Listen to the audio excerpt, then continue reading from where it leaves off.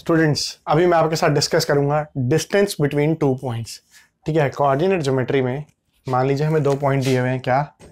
Suppose ये दिया हुआ है x one y one x one y one और ये वाला पॉइंट है x two y two x one y one और एक्स टू वाई टू मुझे इन दो पॉइंट्स के बीच का डिस्टेंस निकालना है।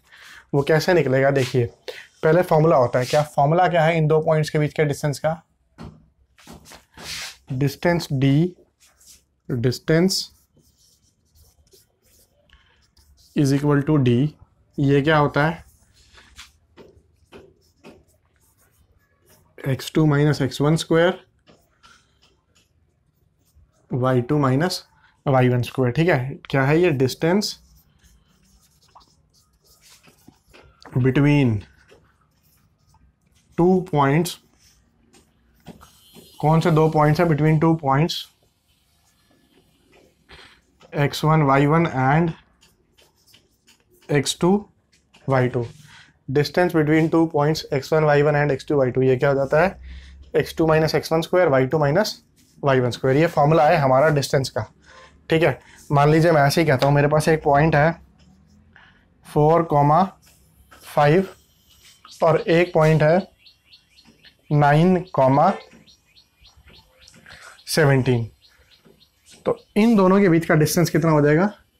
देखिए, ये हो जाएगा एक्स वन ये हो जाएगा वाई वन ये हो जाएगा एक्स टू ये हो जाएगा वाई टू तो इन दोनों के बीच का डिस्टेंस कितना हो जाएगा? इन दोनों के बीच का डिस्टेंस हो जाएगा under the root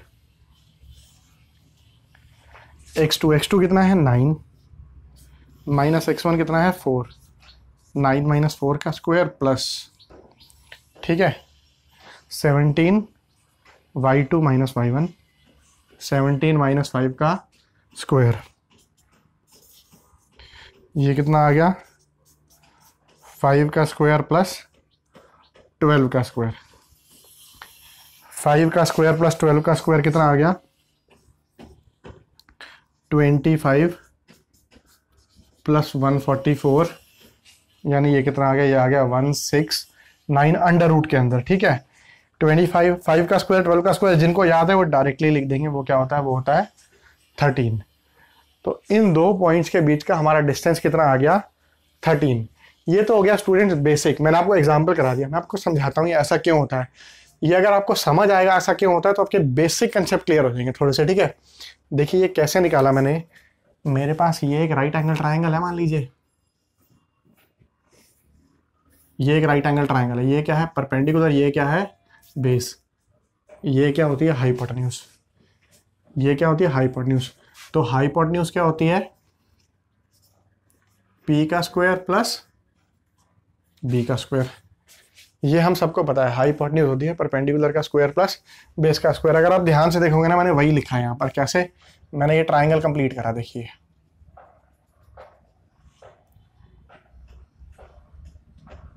ठीक है ना? जब ये ट्राइंगल कंप्लीट हो रहा है तो देखिए अब ये क्या है? इस ट्राइंगल में ये है हाइपोटन्यूज ये है परपेंडिकुलर मान लीजिए ये है बेस अब अगर मैं ध्यान से देखूँ, ये कोऑर्डिनेट क्या है? ये है x1 इसका एक्स कोऑर्डिनेट क्या है? x2 ये x1 है, ठीक है? ऐसे ही इसका y कोऑर्डिनेट क्या है? देखा अगर आप ध्यान से तो ये है y1 इसका y कोऑर्डिनेट क्या है? ये है वाई टू ठीक है? तो ये परपेंडिकुलर कितना हो गया?